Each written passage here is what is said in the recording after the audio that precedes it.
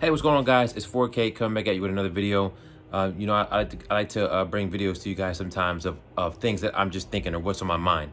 And, you know, recently I've kind of been getting off of the whole, you know, Charger thing. I mean, I love, I love Dodge Chargers and Challengers, and I love the whole, the renaissance of the American muscle car or whatever. And, you know, realizing that it's kind of getting very dwindled. And now Dodge is really the only manufacturer that's kind of making these American muscle style vehicles, big V8 rear wheel drive, especially for the sedan, uh, for sure. But I mean, even, you know, the Challenger, I mean, I don't think the Camaro and the Mustang are in the same league as the Challenger as far as like, uh, you know, those are more like sports cars, pony cars, not like uh, just, you know, a muscle car, you know, almost like a like a sofa on on wheels with a big V8 type of deal. But it's just kind of got me thinking. A lot of these people that drive these cars, and I know a lot of people that watch this channel uh, or are into these type of vehicles like that big V8, you know, rear wheel drive, can do donuts, loud exhaust type of vehicles. And now we're getting to a point now where these are kind of like the last of the Mohicans. And I'm kind of interested in, in wondering where is everybody going to go after after Dodge says, you know what, you know, this is either going to go to a twin turbo V6 or electric or hybrid or whatever the case may be. Where where is everyone going to go as far as manufacturer or what type of vehicle. You know, a lot of these guys that drive Chargers and and and it's cars like this, like what what do you think is, is a way that, that you will go? What is a route that you would take? You know, would you say, you know, all right, you know what, maybe I'll just switch it up and go to a pony car. Maybe maybe the Mustang will continue with a V8. Um, you know, we already know the, the struggles that's happening with the Camaro. Do you go do you go to electric?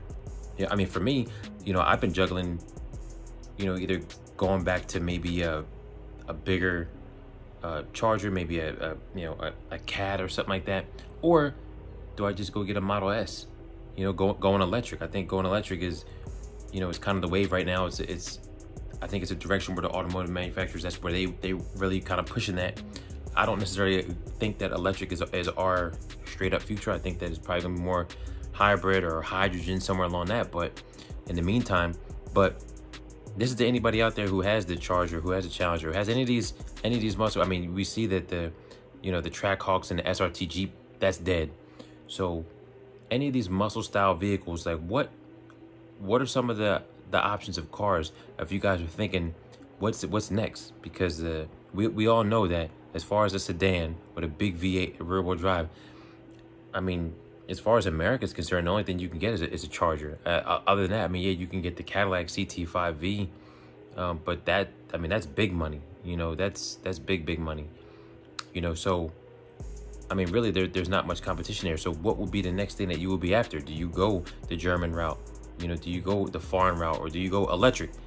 Jump down in the comment box. Let me know what you guys are thinking. Because after this wave, we're, we're in uncharted territory. We're going to be dealing with smaller engines, bigger turbos, uh, you know, four cylinder, four cylinder cars, six cylinder cars, electric cars, hybrids, you know, all these crazy things that we've kind of never dealt with. Uh, what what are the, the the ways that you guys are thinking? Are you gonna keep the, the car that you have, and you know, forever? You know, I just don't even see that as, as a reality. So, um, what are the next move? I'm thinking that you know, I, I really think that it's time to go uh, electric but performance based. But that's just my opinion. Drop me in the comment box. Let me know what you guys think. This has been something on my mind? Uh, catch you guys in the next one.